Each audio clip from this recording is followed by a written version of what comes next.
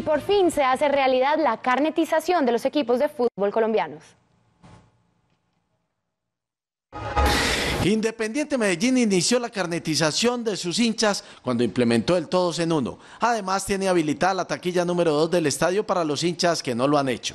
Mientras tanto, Atlético Nacional comenzó el proceso con sus hinchas en el Coliseo de Combate de la Unidad Deportiva Atanasio Girardot.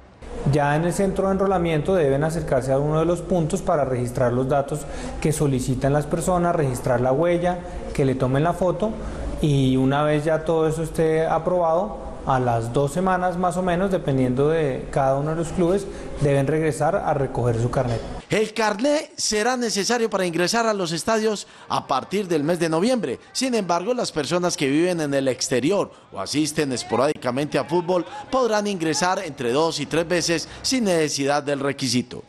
Para las personas que tienen entre 14 y 17, adicional al documento de identidad deben presentar el formato de, autorización de los padres de familia.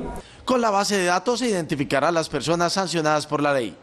Al momento de ingresar a un estadio, pues no se les permitirá el ingreso porque tienen de hecho bloqueado el, el acceso. Se espera que con la carnetización de los hinchas se garantice la seguridad en los estadios de Colombia.